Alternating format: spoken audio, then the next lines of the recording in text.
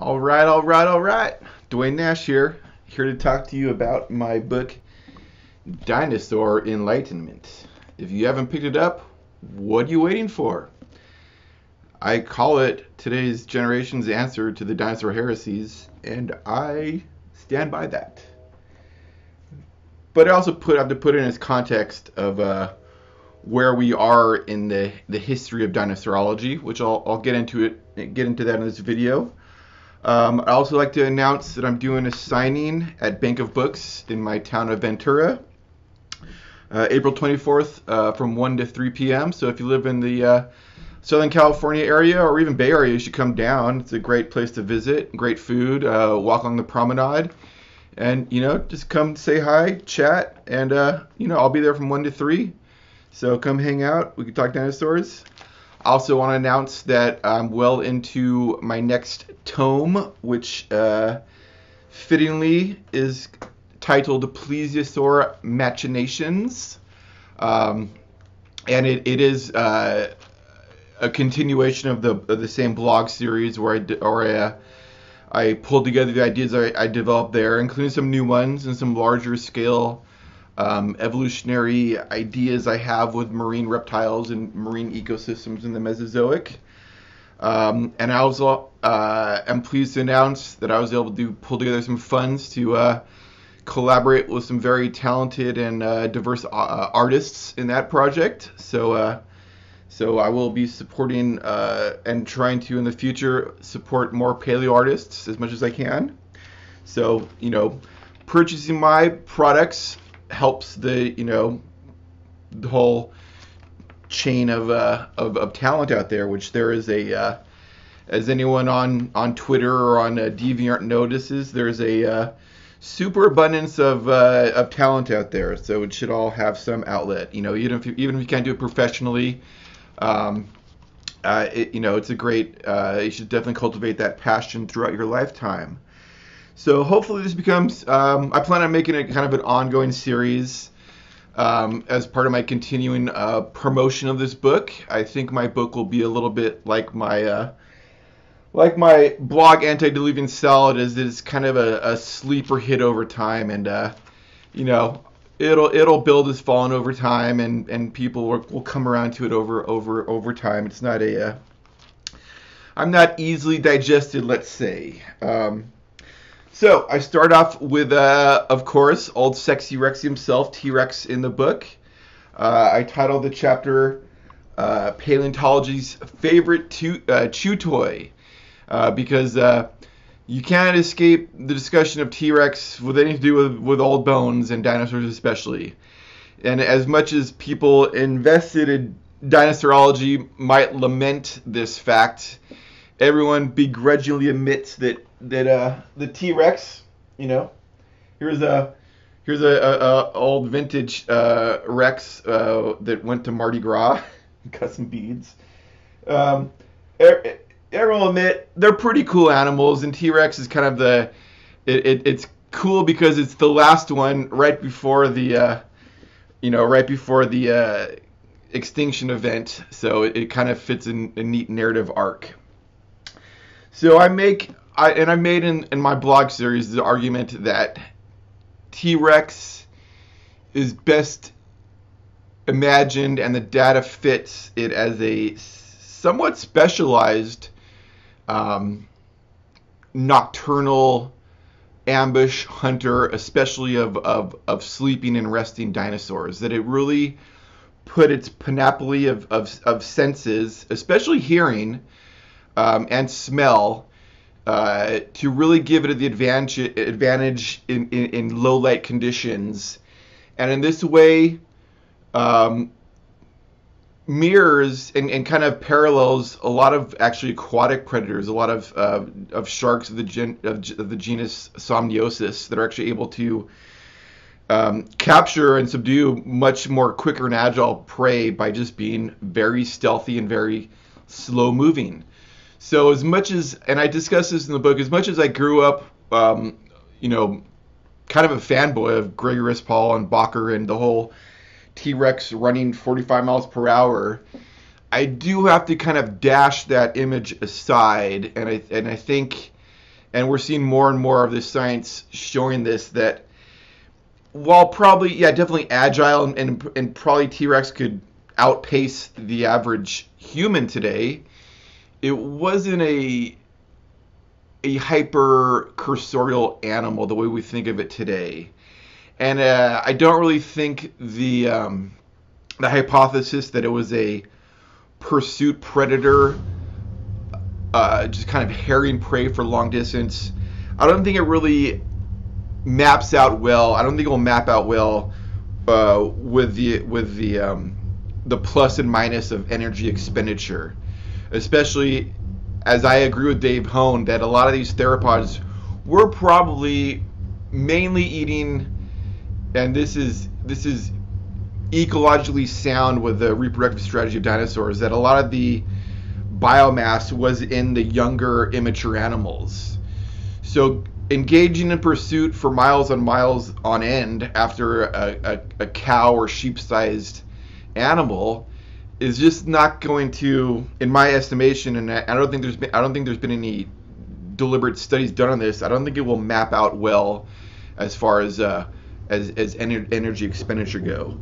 I also don't agree with as much as I used to like it in the past, and it was, it's a very exhilarating idea that the T-Rex hunted in these organized packs, and that the and that the young animals would have the duty of kind of corralling and and shepherding prey into the waiting jaws of, of larger, uh, more more mature animals with devastating bites.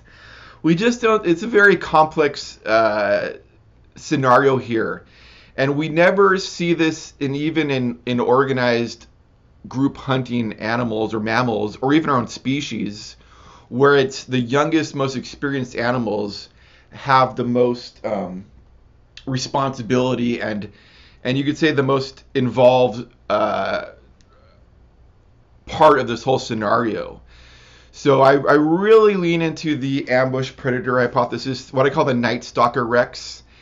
And I think this is the culmination of, of, of this behavior in other uh, tyrant lizards prior to Rex. I just think Rex got it the got it done the best, and in that way really escaped the bounds of limitations as far as far as robusticity and, and girth goes. So you, you know you look at, at, at Rex compared to even um, other large theropods that just had this robo huge girth to it, looking and, and mimicking almost like giant marine mammals. They, they could really just blow out their, their torso. And so I think uh, Rex had really escaped the confines of what we consider um, ideal adaptations for land-based terrestrial predators. And I think, especially with more um, remote cameras and, and, and, and, and kind of investigation of nocturnal predators, I think we'll see, a, and we're seeing this already with a lot of a lot of evidence of, of, of, of owls, for instance, attacking roosting birds, even roosting other raptors. Um, it's been well documented that, that the crocodiles will come onto land at night and will map out and kind of anticipate where prey is on land and have even like ambushed humans are sleeping in tents. So so this is well established behavior in even modern archosaurs that that the the cloak of night gives significant advantages to to predators and there is even some reference I make in the book. I figure out what what vitamin it is. Might be, might be vitamin A or K, but but predators have an advantage in nocturnal vision even uh, that that herbivores simply can't can't meet uh, because of the of the uh, of the abundance of this vitamin in, in animal in animal um, in you know in, in eating animal product product. and eating, you know, in, in eating animal matter, they get more of this vitamin than herbivores do. So they have a natural uh, advantage at night, which should not be understated. And I actually make make the analogy the best if you really want to imagine a T-Rex foraging and moving through its landscape. Uh, look at birds like the kiwi. Um, uh, Rex definitely had I mean, it's definitely well established that it probably had a really good vision, but I think it could survive even with diminished uh, vision just on its acuity and smell and hearing alone. So, very scary predator. Um, and and when we we have to and I do this in the book. Before I get to that, I, I go over the ontogeny of, of Rex and, and why it's it's kind of um, development would al- allow for this kind of specialized predator. Uh, before I do, before I get there, I, I kind of make a, I kind of embed the introduction in the first chapter, if you didn't notice, and I kind of lay out uh, my seven, was it seven? Yeah, seven, eight. My eight kind of guided metrics that I use to kind of corral my thinking, because contrary to popular belief, I don't just throw, I throw a lot of stuff at the wall, but I kind of corral it, and I called it kind of um, my my bounded specula- speculation approach. Um, before we get there, though, excuse me, let's get into where we are in the uh, in kind of the sequence of dinosaur studies. If you imagine, and this is kind of a caricature, but if you imagine before the dinosaur renaissance, you call that like kind of the dinosaur Middle Ages or Dark Ages. There was kind of just like kind of like a, you know, this is the classic Brontosaurus in the swamp, the kind of vertical stance theropods, um, kind of just so storytelling, which which which happens, and you know, I'm probably guilty of that too, but. Um, and so then we have you know Bakker and Ostrom and all these figureheads coming along. But even with them, we're kind of guilty in falling in love with, you might say, the kind of cult of personality of, of these paleo luminaries, uh, including myself, um, the kind of swashbuckling, uh, you know, Renaissance man. And so things maybe shift a little bit too far as far as like every dinosaur has to be extremely hot blooded. Um, uh, there probably was more. Well, there definitely appears to be more middle tier kind of metabolisms. Um, uh, 45 mile per hour or even 35 mile per hour multi-ton theropods or hadrosaurs seems to be kind of on the wane. So there was kind of definitely an overreach of the Renaissance. So kind of fell in love with it, and um, you know that's encapsulated with uh, predatory dinosaurs of the world which in my book I make kind of an homage to the the introduction in this book with a with a T-Rex ambush. I make my own homage homage to that in in my book.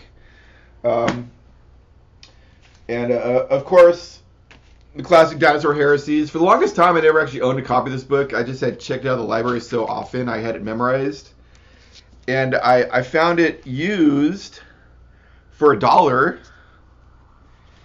And what's cool in the bookstore is uh, Robert Bakker's signature was in the book, so got his signature for a buck basically. That's pretty cool. So those are two kind of good foundational texts to understand the Renaissance, dinosaur Renaissance. Um, what is what is still in kind of our near view vision is which I call the the scientific maturation of dinosaur studies, and that's really putting a more hypothesis driven testable data aspect of dinosaur studies. And that I think is best encapsulated in a, in a magazine article by National Geographic. Um, and so this was uh, this was definitely like the the Larry Witmer, Thomas Holtz era of dinosaur studies, and uh, that was definitely needed. You know, there's there's always this kind of push and pull between the more esoteric, kind of speculative, and the more harder grounded primary data. So the uh, scientific maturation, which is um, we're still in the kind of um, you know I, I, I, I don't really expre- express this, but I I mean you'll read in the book what I say about it, but I think that we sometimes fall in love with oh this has this could have a quantitative aspect to it and this has num- numbers behind it. And that's great but you really have to look sometimes is the data are you too myopic in your in your vision of things? Um, and I, I, give several examples of that in this book how we sometimes fall in love with like oh this has data and graphs attached to it. It must be the real science. Um, but you know what they say: if if if the data you put in is shit or not seen in the proper context, you get the data out is also shit. And so, segueing from that is kind of the return of, of, of, of speculation, and you can't you can't not mention all yesterday's. And uh, I mentioned this in the book, but I probably would not have. Written, I definitely probably not have written this book or got back, back into because I fell out of love with science for a while and dinosaurs. Uh, but it was really tetrapod zoology, and all yesterday's it kind of reawakened my interest in it, uh, for better or worse. And uh, yeah, so definitely all yesterday is is a segue into books like mine. And this really asks the question of speculation has always been there. It's always going to be there. It plays a big role. What is that role, and how do we kind of uh, negotiate that with the science? And that is the phase we're kind of moving into, away from the scientific maturation into what I call the dinosaur enlightenment. And um, and that is where I get into my kind of bounded speculation approach. So the first kind of rule or guideline I abide by is the deconstruction of scientific and cultural pedigrees. And, uh, you know, so dinosaurs and other charismatic prehistoric animals have a kind of mythology and lore to them. They represent much more than just the sum of their parts, in my estimation. They are kind of, in a way, modern archetypal dragons in a sense. So there there is a a realistic myth making about them, uh, which I get to infer later in the chapters. Uh, my second kind of guideline is that nature abhors a vacuum. If there is an open ecological slot, something will probably move in to take that slot. So you always want to be looking at dinosaurs or other prehistoric animals within the context of their larger environmental and ecological systems. Uh, my third guideline is to pay attention, uh, lo- looking at the tug and pull of, of adaptationists and adaptationist and pluralistic approaches uh, approaches to to understand these animals and, and their anatomy. Um, and I came out negative on Gould, uh, Stephen Jay Gould's uh, Spandrels of San Marcos in the past. But the more I look, I, I do see examples of, of, of where things we interpret as having meaning can just be uh, other factors coming together to make to make them this uh, this pluralistic approach uh, versus the adaptationist approach, which I generally kind of lean more to, towards the adaptationist, which is okay. I just think people should really look at where their bias lies. I, I, I think people might shift one one way more or the other in their interpretations of animals. So it's okay to, to, to, to argue for both, and I, I do that. Um, my fourth guideline is best fit analogies. You want to try to find analogs in modern or recent ecosystems that might best fit uh, how you're interpreting this animal. Uh, my fifth guideline is the role of future evolution, and this is a um, Dougal Dixon kind of spearheaded this Scottish um, uh, uh, thinker, uh, kind of spearheaded this this movement of imagining how evolution might run into the run in the future, and this is very useful actually towards looking at animals in the past. I believe what it does is is you kind of you train the circuit when you start to imagine future evolution you train the circuitry in your brain to hopefully think of the most parsimonious and and easily delineated sequence of events that might lead to like uh, a predatory ground-based bat for instance and that could also be used in reverse um, so if you know the precursor of a certain species you could kind of imagine what it might turn into and vice versa. So so the kind of the muscles you flex in thinking in the future can also be used to think backwards too. So uh, don't besmirch or or disavow future evolution and and, and how important it is it is for thinking about um, evolution and paleontology. Um, the hypothesis you make should be consistent with the uh, available data, and if it if it's not, you need to say why it betrays this data or what went wrong in that initial data. And kind of my seventh and eighth kind of guidelines are, and you still see this to this day, is is avowed, you know, respected paleontologists will say, oh, this if they can't explain a certain feature or or adaptation of an extinct animal, they'll describe it as, oh, this is just an evolutionary experiment or a transition species.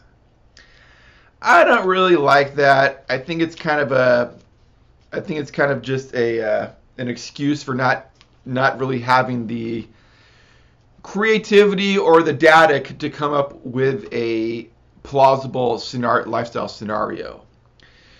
And so, what I prefer to think about is that look at the words, world's modern biota.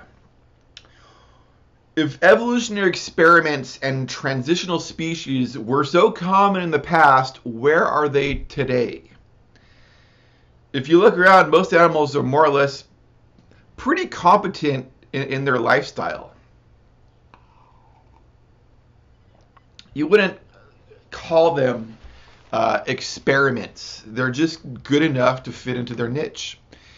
And so, what I prefer to think about is this idea of, of a, stepping stone uh, trans, uh, transition. If, if an if an if an if an opportunity uh, if an opportunity uh, arises in an environment, uh, then animals will move in to fill that niche and and and do so in a way that's not they're not they're not negatively adapted. A, a perfect example it would be like a sea otter. A sea otter is not as pelagic or as fast swimming as a sea lion or or a you know some other pinniped or, or, or dolphin, but it's good enough to go scrounge up um, you know clams and urchins and crabs on the seafloor. It's it's not it, it can eventually transition to into a more pelagic you know lifestyle. But right now you know you know living in the kelp forests or in estuaries sea otters are doing just fine. They're not predetermined to transition into something else. So you know when we look at prosauropods um, we don't have to imagine them as, as less fully realized versions of latter latter sauropods they're just actually very competent and good at doing what they're doing right then and there in their environment. There, there's no uh, storyline that they need to they need to fill. Um, so those are my kind of guided metrics for uh, bounded speculation. So I kind of embed the introduction into the into this into the story of Sexy Rexy, and Sexy Rexy itself has a bit of a you know a masculine appeal with that strong jawline, the thick you know jutting chin, and um, you know as as I argue in later chapters, there is kind of a even a gender-based archetypal mythology that that kind of resonates with us in in, in these dinosaurs. Um, later on in the book, when I get to the uh, the dromies, the dromaeosaurids, I I argue that they they evoke a more of a, a, feminine archetypal energy as opposed to the masculine energy of, of, of T-Rex. Um, so to see T-Rex as a specialized nocturnal ambush predator, you need to look at its ontogeny, and we know they lived. Um, you know, they could get up to you know they started reaching maturity around like 18, 20 years of age, got to maybe 30 years. And it's often argued even by paleontologists, that they had a, a live fast, die young, you know, really rapid lifestyle. But there aren't any large predators today, land-based predators that live really over 20 years. You know, it's rare to see them live that long. So Rex is actually living longer than than than than most uh, than all large mammalian land-based predators. I don't think there are any unless you count us and like chimpanzees and stuff like that, I can't think of any canids or felids or even bears that outside of captivity regularly exceed 20 years of age. So, uh, so it had a little bit more of a lifespan than you know a longer time to accumulate things than than modern mammalian predators. And what I th- find fascinating, a lot of things are featured. A lot, a lot of fixation is on that transition from the the kind of teenage middle years, that rapid growth phase. That's interesting, but more interesting to me is the initial third, the the childlike, what I call the the wonder years of T Rex, uh, the kind of um, child phase of T Rex. Now, why would an animal uh, at that size, where it's very vulnerable, why would it uh, suspend growing up? Um, why, why would it delay maturation? There's another species that does this. Uh, that's us. We suspend uh, we suspend our maturation, and the the most uh, plausible hypothesis is that we need to accumulate information and data about our own culture before we we we uh, engage in, in more mature adult responsibilities. So we, we have kind of a childhood, and T Rex did too. What I argue is in this book is that those wonder years would have been marked by an intense curiosity in these uh, juvenile child Rexes. And they would have been getting into all kinds of trouble they could get out of trouble because they were small and nimble enough that if pissed off a large hadrosaur or a ceratopsid, they could get out of harm's way, which would not be so much the case when they got larger and bulkier. Because um, these large other dinosaurs that, that T-Rex was confronting, even the massive Edmontosaurus was a, was no pushover, could do uh, deliberate and devastating damage to even adult Rexes. So the the childlike phase allowed them to collect data in their environment, and what they were especially argue cued into would have been the moving patterns, the nesting patterns, the foraging patterns, the sleeping patterns, the reproductive patterns of all these other animals that later in life would form the bulk of their prey. As a youngster, they could get around scavenging small prey items, whatever. you know, they they were not under the burden of, of having to feed such a large growing body in these initial, you know, five, ten years of life. That comes in the teenage years. And this is a very critical and, and devastating for many individuals phase of their life because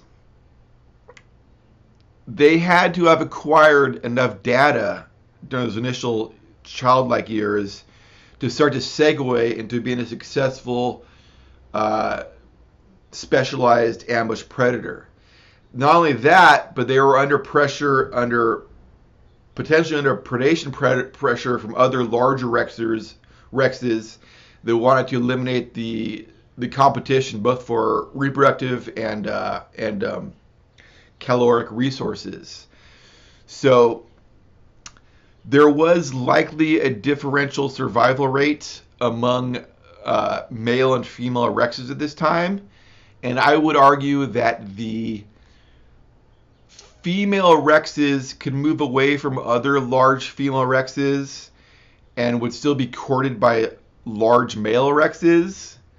However, maturing um, male rexes had a had a bigger jeopardy because not only were they being targeted by other um, mature male rexes, they were competing with each other. So I think at the end of this teenage phase, there'd be more females left over than males, and coming into into adulthood, we might even see a peculiar situation where females may have competed for territory and access to the rarer large male rexes. And this this goes along with this idea of, of dual sexual selection, uh, which I know has been brought forth before by people like Darren Naish, and uh, um, you know I think it's very robust. I think we went down the wrong path, expecting there to be this ontogeny in dinosaurs, but because of their reproductive and ontogenetic sequences, I think we'll see that there's a lot more to be said for uh, dual sexual selection because females have their own hierarchy um, and they have to compete for the best territories and the best nesting sites. nesting sites are crucial and a huge differential from the pressures that like large mammals face, where they're not as tied down to defending a large nesting site and also putting their nesting site in, in an area with good resources for their young. So uh, dual sexual selection is kind of somewhat intersecting but somewhat separate hierarchy in the in the in the sexes, which I think is also another similarity that we share with with T-Rex and dinosaurs. We have a female and male hierarchy that somewhat intersects, but is also kind of exclusive to each gender, and that's also found in other primates too. So, you know, again, we see these kind of eerie similarities between um, humans and dinosaurs, and I think that's a, a, fascinating avenue that I don't shy away from the, in this book. Um, and so then when we finally get to the adult years, this is where uh, um, the the reproductive arsenal really comes into play, and uh, the the growth is kind of slowed. They've reached maturation, and now the the name of the game is is is carrying on your gene uh, gene line. So for females, this would probably mean establishing a ter- territory, a, a territory with abundant prey, especially reproducing prey. So having nesting colonies within your territory would be a good thing, and highly, com- you know, high, they'd be highly competed, competitive over that over this, um, because other females are are, are, are going to be competitive because they want their offspring to have the best chance to grow up. Um, so I don't think female Rexes were very nice to each other. Uh, same with male Rexes, were probably not, not nice to each other. And it was probably a situation the way where you see female territories spliced apart, and you might have one male kind of roaming over this whole kind of swath of land and, and kind of um, trying to corral, trying to interface with as many female territories as you can. Similar to uh, to mountain lions or pumas, cougars, what you what you might say. I don't think T-Rex had prides or packs or anything like that.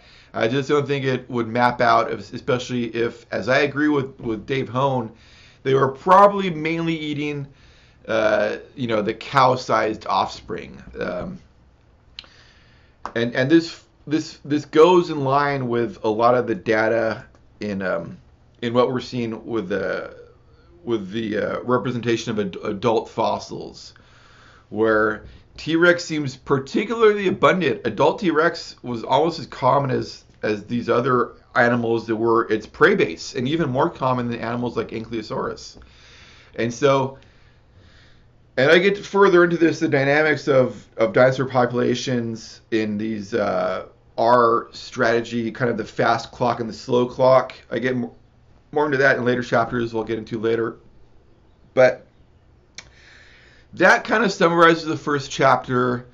Um, and I've, I've ta- I talked about it in my blog too, but the Night Stalker Rex uh, is, I think, a very robust hop- hypothesis, and I think it fits the data quite nicely.